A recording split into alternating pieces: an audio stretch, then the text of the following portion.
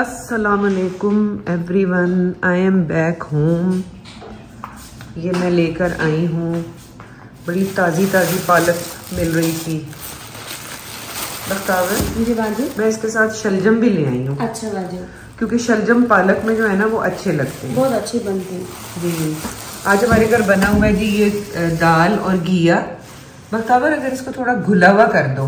अच्छा ठीक है बाजू इसके अंदर पानी डालकर यस ठीक इसको हो प्रेशर दे दो ताकि ये एक घुली हुई फॉर्म में हो जाए। ठीक हो और साथ में ये देखो ना ये मटर कीमा जो है ये ड्राई है।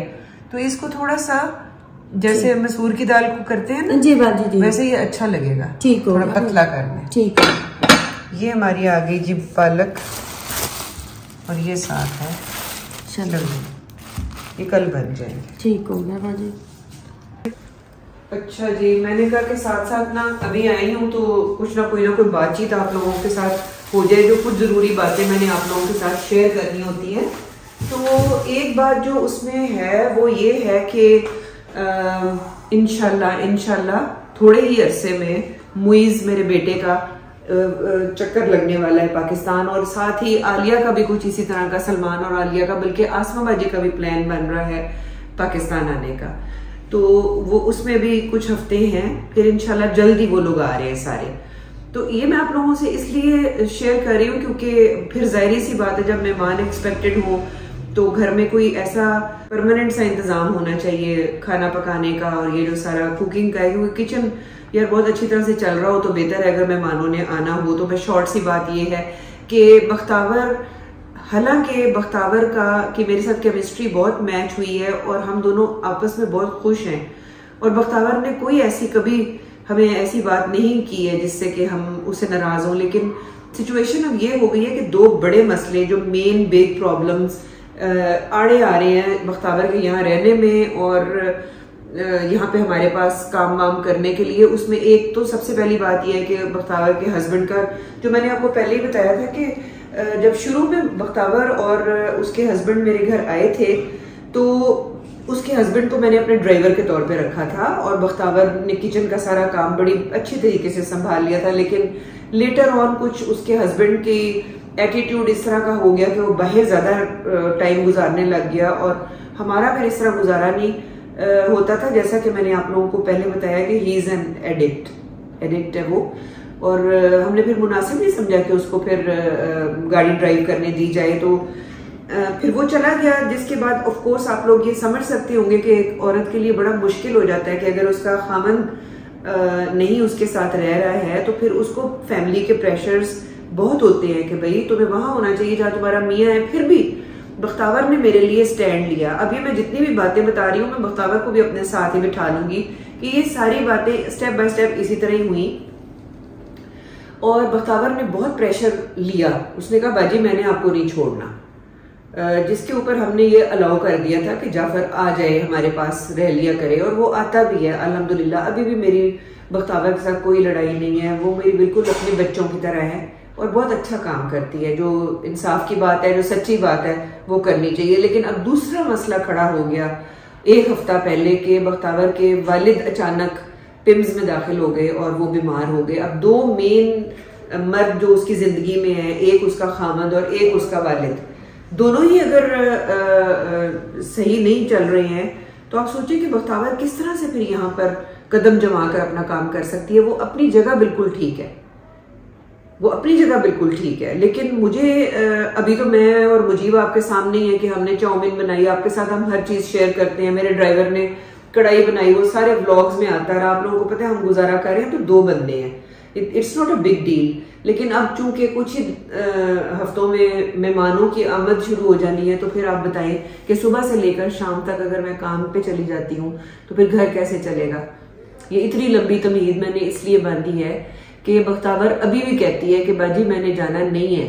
मैं नहीं जा रही हूँ। मैं अपना घर, अपना किचन अपनी जगह जहाँ पर वो रहती है, वो छोड़ना नहीं चाहती है। लेकिन वो सिर्फ़ इतना अब हम करने लगे हैं कि जितनी महीना, डेढ़ बख्तावर के हालात सही नहीं होते, वो खुद अपनी जगह पे कोई बंदी हमें यहाँ रिप्लेस कर देगी कि बाजी ये आपका ख्याल करे जब तक कि मैं वापस नहीं आती हूँ। ये बातचीत जो है, मैंने कहा मैं आपसे कर लूँ और ये अभी ही मैं कट किए बगैर बख्तावर से भी बल्कि ये ना हो कि आप लोग बाद में कहें कि जी अ, मामा ने मामा गिलोर ने सारी चीज़ें बख्तावर को सिखाई थी। मैं उसको आप हम बैठ जाते हैं वो खुद आपको अपनी जबानी भी बता देगी कि मैंने जो कुछ भी कहा है अगर उसमें कुछ गलत है तो। अस्सलाम वालेकुम। हाँ जी तो बख्तावर। आ, क्या है आपका बयान? मैंने कहा मुबैना तौर पर बख्तावर का भी रिकॉर्ड कर लिया जाए बयान। बख्तावर आप के जाने का की वजह? बाजी जाने की वजह जाफ़र और मेरे अबू हैं बाजी। हम लोगों से तो कोई नहीं बाजी मुझे कोई गिला शिकवा नहीं। बहुत अच्छी है बाजी आप। और मैं बाजी छोड़ के बिल्कुल नहीं आज मैं पैकिंग कर रही और मेरे बाजी आँसू निकल रहे थे। कितना हाँ। अच्छा घर छोड़ के मेरा दिल नहीं चाह रहा बाजी छोड़ मैं मैं वही कहती हूँ कि इंसान का जो एक लगाव होता है ना लगाव तो यार अगर आपने घर में कोई परिंदा भी रखा हुआ हो ना उससे भी प्यार हो जाता है तो आप अंदाज़ा लगा सकते हैं कि एक साल से ज़्यादा होने वाला है बख्तावर को मेरे पास। लेकिन तुम तुम्हारा वापस आने का है क्या मतलब? मेरा बाजी वापस आने का ये एक महीने बाद मैं इंशाल्लाह वापस आ जाऊँगी। इंशाल्लाह। इंशाल्लाह और आपको हम मैं बहुत मिस करूँगी। हम्म। हमारे सारे व्यूअर्स बहुत मिस करेंगे। लिटरली मैं तुम्हें बताऊँ तुम्हारी बहुत तारीफ़ होती थी। हर व्लॉग में और मुझे बहुत सारे लोगों ने कहा था कि इतनी डिसेंट लड़की आपको मिली है। तो प्लीज़ आप मामा गिलोर इसको छोड़िएगा नहीं। तो मैं यही बताना चाह रही हूँ कि कुछ हालात का या घरेलू परेशानियाँ ऐसी बनी है हम्म, जिसकी वजह से जिनको मामले को सुलझाने के लिए जाना पड़ रहा है। तो इनशाला ताला बख्तावर फिर इनशाला मुलाकात होगी। तो अल्लाह हाफिज। ये मैंने कहा कि ये इस तरह का ब्लॉग एक हो जाना चाहिए ताकि जितने लोग देखते हैं उन्हें बाद में खदशात होते हैं कि पता नहीं क्या बात हुई लड़ाइयाँ हुई या मैंने कुछ कह दिया या उसने कुछ कर दिया। ये बिल्कुल नहीं ऐसे आप लोगों ने सोचना हम दोबारा बख्तावर आएगी। थोड़े अरसे के लिए वो आप लोगों से हम मतलब इजाज़त चाह रही है। मुझसे चाह रही है इनशाला फिर लाइक दिसंबर या जनवरी तक इनशाला बख्तावर विल बी बैक। तब तक आप आप लोग आप लोग अपना बहुत ख्याल रखें। छोटी सी अपडेट आपको देनी थी।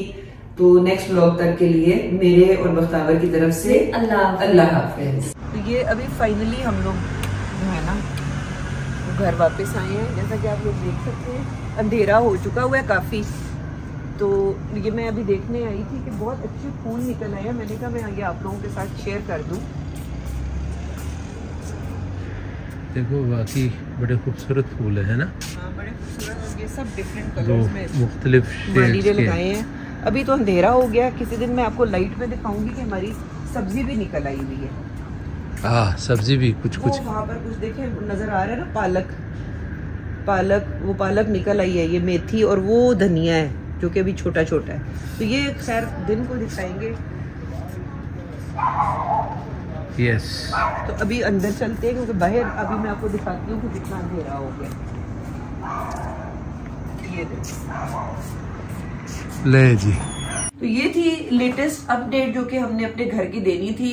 ये तो मैं आज ही व्लॉग लगा दूँगी क्योंकि ये आज ही सारी आ, मतलब चीज़ें हुई हैं तो मैंने कहा कि मैं आपको बता दूँ क्योंकि फाइनली काफ़ी दिनों के बाद बख्तावर वापस आई है जो अभी आप कल से व्लॉग्स देखेंगे वो वो दिन है जब बख्तावर पिम्स में अपने अब्बू के पास थी और मैं और मुजीब अब आप देख सकते हैं कितना अंधेरा हो जाता है हमारे आते हुए ऑलमोस्ट रात हो जाती है तो जितने भी अभी आप व्लॉग्स देखेंगे उसमें हम आकर डिनर और घर की मैनेजमेंट में अब यकीन करें ग्यारह ग्यारह बारह बारह बज जाते थे और बहुत टायरिंग था हम दोनों के लिए।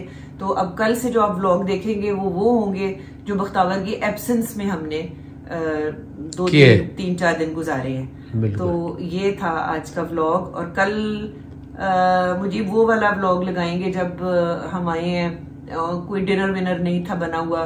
फिर मैंने और आपने मिलके चाउमीन बनाया था आपको हाँ। याद है? हाँ, और वो खाना खाते खाते हमें रात के दस ग्यारह बज गए थे।